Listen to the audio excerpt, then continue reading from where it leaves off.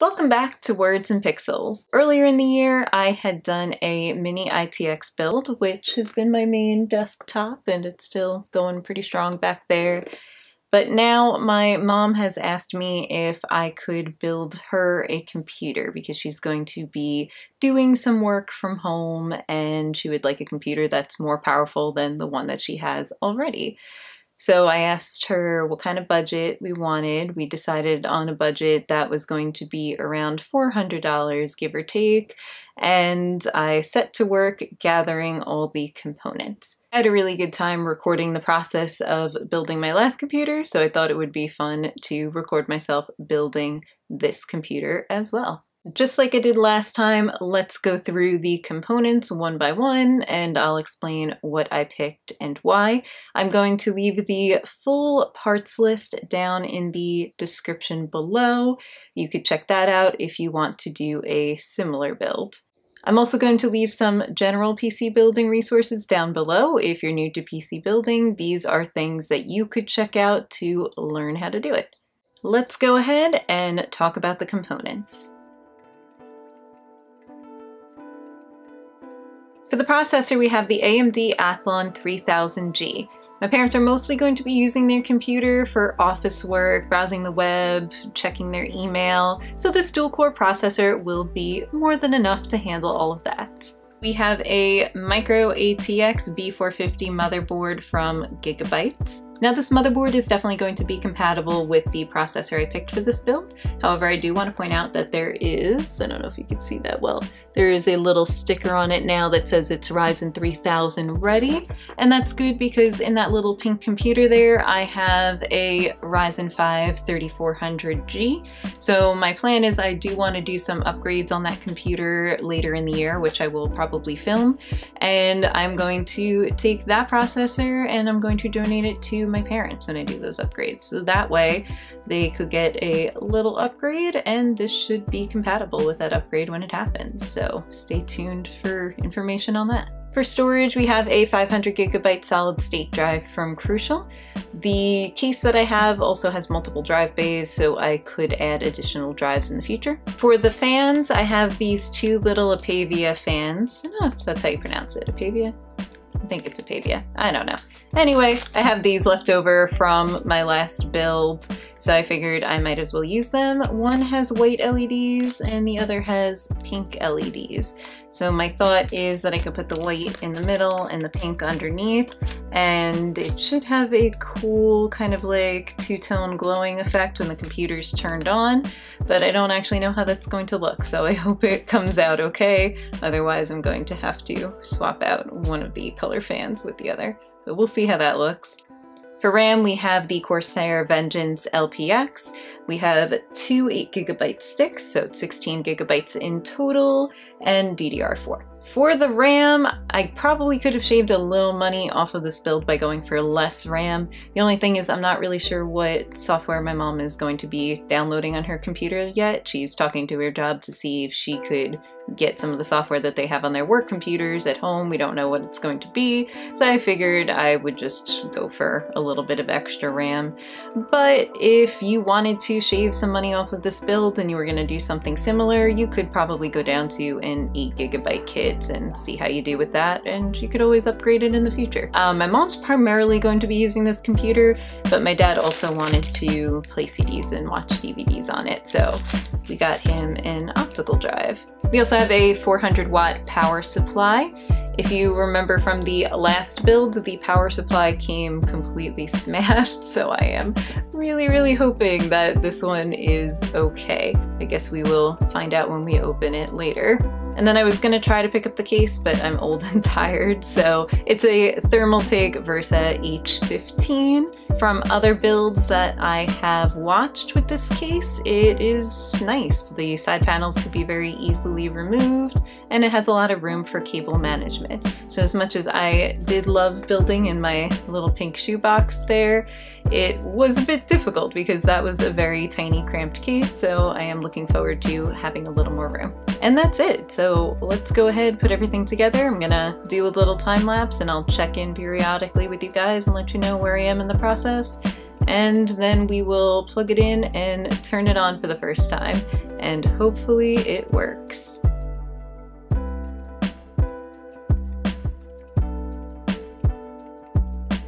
Alright, so as you can see I am surrounded by stuff. I really need a larger workbench, but this is what I've got to work with today. So we're going to start off by putting together the case. So we have the Thermaltake Versa, which has not even been unboxed, so we'll do that. Then I have the power supply and the case fans, and we're gonna go ahead and put them all together. So I will check in with you guys when that's done. Wish me luck!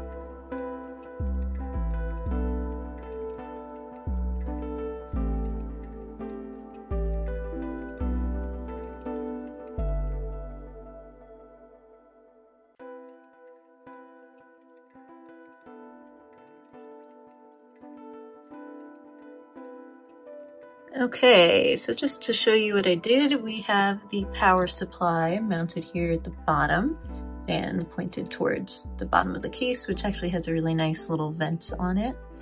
And then we have the two fans. So I have the white one on top, the pink one on the bottom. They're both going to be intake fans, so the grill is facing towards the inside of the case.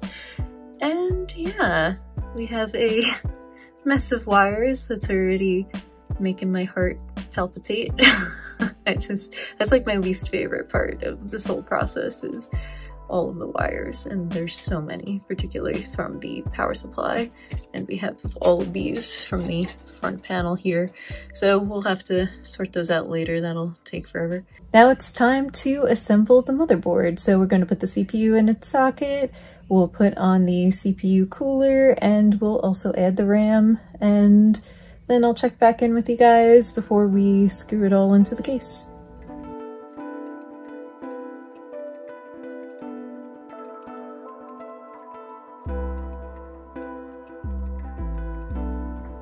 Alright, so we have the CPU and we have the CPU cooler on and then we actually have four slots of RAM which is pretty good I think I have them in the correct slot. So here's slot one and then slot two. And then I guess if I get three and four, they would go there according to that little chart on the motherboard.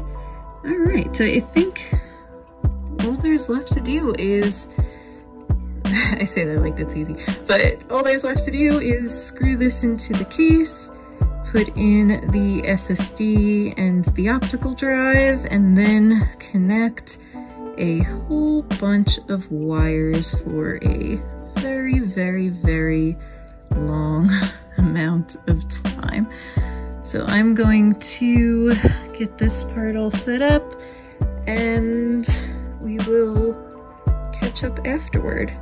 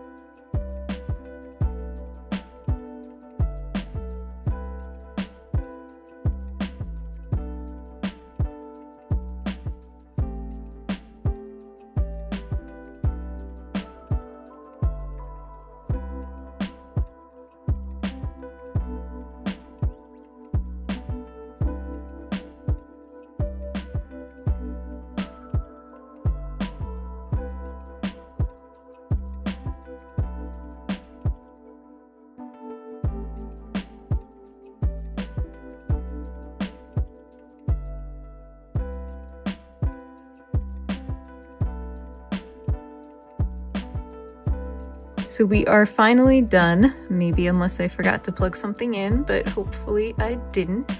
Sorry you didn't get to see the last few minutes of the time lapse. My camera ran out, but honestly it was just me looking at the manual and plugging in stuff.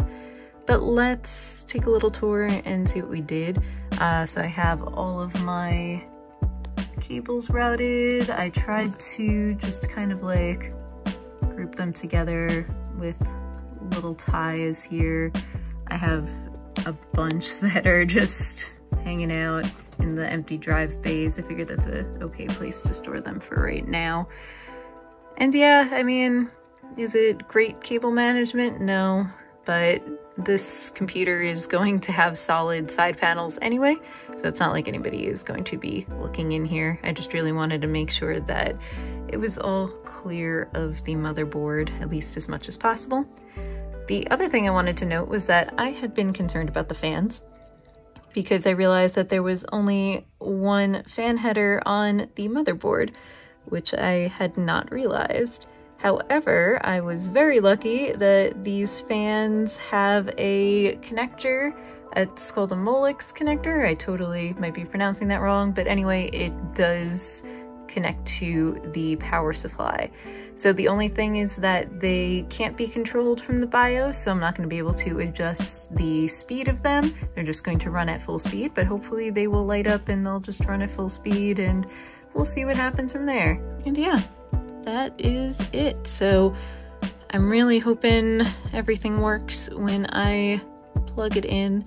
I'm going to put the case back together and then I will meet you over by my computer desk and we will go ahead and see if it turns on. All right, so I had to do some rearranging on my desk to fit the computer. It really is very big compared to my little pink computer but I just wanted to test it out before I brought it to my parents and set it up on their desk. So let's turn it on and see what happens. Hopefully it starts up. So I'm going to make sure the monitor's on. We're gonna hit the power button. Ooh! I'm pleased the fans are working, so that's a good sign. I really actually do like the dual color. I think that looks kind of cool. And let's see if we get anything on the screen. Uh, saying no signal. And now it's change. Oh, yep. This is so exciting. Yay. All right, so I'm so glad that that worked. I'm not going to play around in the BIOS tonight because I am just wiped. But I do want to get Windows 10 installed, so I'm going to let that do its thing and maybe make a cup of tea while it's doing it. So I will check back in with you guys in a little bit.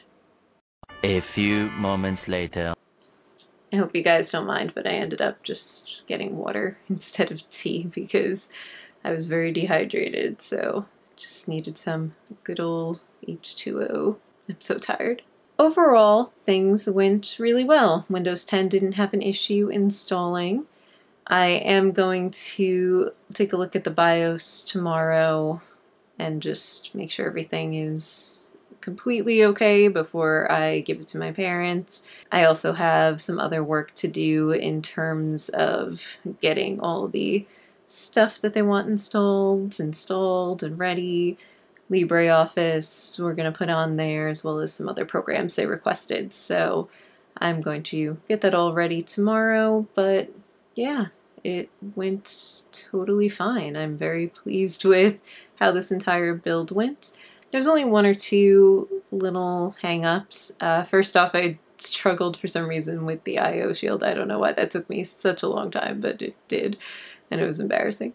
Then there was the issue with the fans. This had happened off camera, but I was about to plug everything in and I realized that there was only one fan header on this motherboard and I started to freak out because I have three fans, and then I was able to plug the two front fans into the power supply. I was very lucky that that worked out okay because it doesn't always, not every fan has that adapter. So luckily I had those left over from my last build, and luckily they just happened to have the right adapter that made them work with this whole setup, so I was very happy about that. And then there was another little issue with the fans where one of them, the bottom one, was making a little rattling noise when I first started up the computer, and that was pretty easily fixed. I was able to just pop off the front panel and tighten it, and now it's not making that noise anymore. But I guess that's all part of the process. It's how you learn. I would definitely recommend this case to anybody who was doing a budget build. For the amount of money I spent buying this, it really had a lot of nice features. For instance, you can take off the side panels without even needing a screwdriver. It just has a little screw that you can undo with your hands. And it's very easy to pop off the front panel too. You just pull it and it comes right off. Also had some nice room for cable management. Not that I utilized it in any good or organized way, but it did have some room for cable management, which was very nice. Overall, I enjoyed working with this case. I'm glad everything came together okay, and I'm looking forward to giving it to my mom and dad tomorrow. If anybody has any feedback on this build, definitely leave them in the comments down below. I'm a relatively new PC builder and I don't mind constructive criticism. So if you have a suggestion for how I can improve this build or just improve as a builder in general, please let me know.